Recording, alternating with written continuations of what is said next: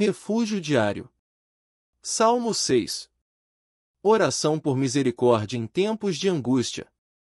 Senhor, não me repreendas na tua ira, nem me castigues no teu furor. Tem misericórdia de mim, Senhor, pois desfaleço. Cura-me, Senhor, pois os meus ossos tremem de medo. A minha alma está profundamente perturbada. Até quando, Senhor, até quando? Volta-te, Senhor, livra minha alma, salva-me por tua misericórdia. Pois no sepulcro ninguém te recorda, quem te louvará entre os mortos? Estou exausto de tanto gemer, todas as noites faço nadar a minha cama em lágrimas e encharco meu leito de pranto. Meus olhos se consomem de tristeza, enfraquecem por causa de todos os meus adversários.